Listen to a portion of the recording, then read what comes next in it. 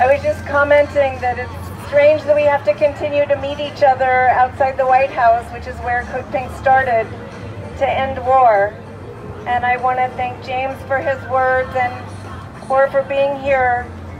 One quarter of the children he mentioned, you know, that are half of the country that have grown up in war, 18 years, they have grown up in this war.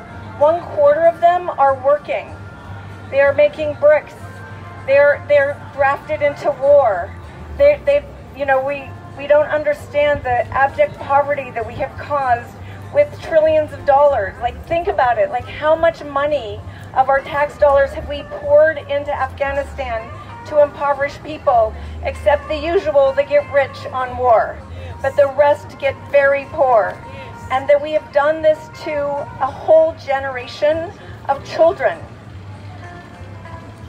Um, at the beginning, before we invaded Afghanistan, a woman in Afghanistan, I want to read her words, Malalai Joya.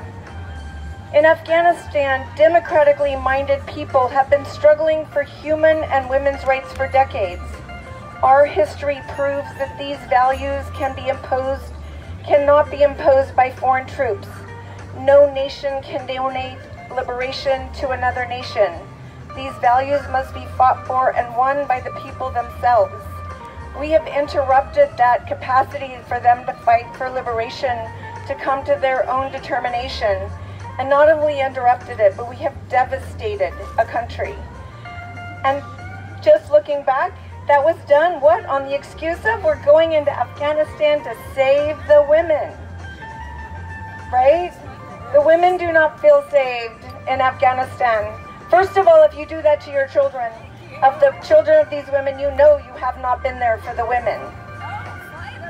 And you know that the women of Afghanistan have been living in the, the depression of war. We know what that is, the post-traumatic stress of war that makes life almost intolerable. But, you know, we, when we went to Afghanistan, we met some young women who wanted to make Afghanistan better. So we helped them come to the United States and study law so they could go back and change the laws of Afghanistan.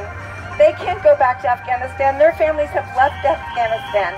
They're, they, are, they have lost hope. Um, and they continue to lose hope.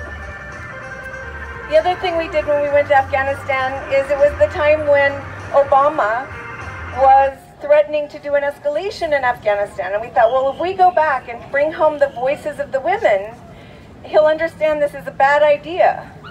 But we brought back 4,000 signatures from women in Afghanistan, and they fell on deaf ears kind of sounds familiar for what we're experiencing this week in Washington, D.C., the deaf ears that women's voices fall on.